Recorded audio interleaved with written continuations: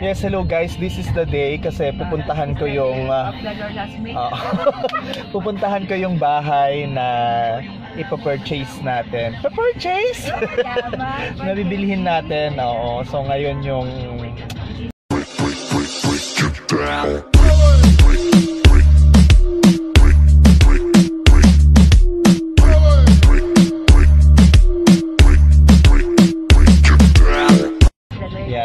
the day kung saan magpipirmahan kami, ganyan.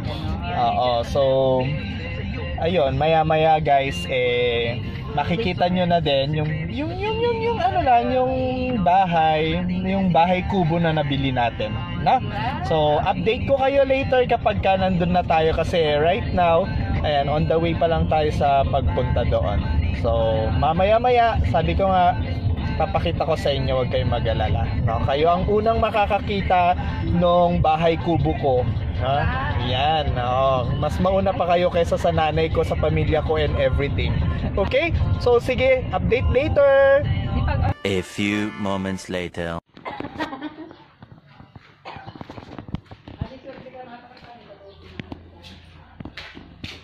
Pasok. The house. Ayan, so meron siyang dalawang kwarto. Kaluwang. Diyos ko, nakakatakot ang dilim.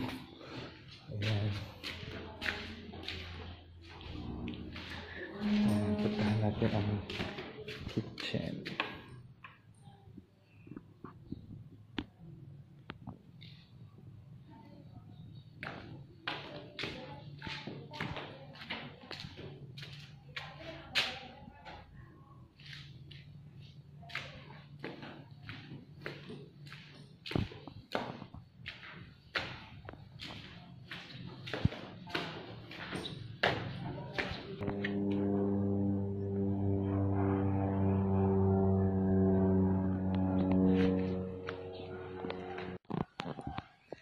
At ayan na nga mga kalakbay, nandito tayo sa bahay namin, bahay ko. ayan, ito yung nabili nating bahay. Kaya, ayan, so nakita nyo ng mga kalakbay, eh, mag-suggest kayo kung anong gagawin natin. Okay, so shout out ko nga pala yung aking pinsan na si Ana Marie Guzman. Ayan, Kalig, Kaligya, Ana Marie Guzman Kaligya. Ayan.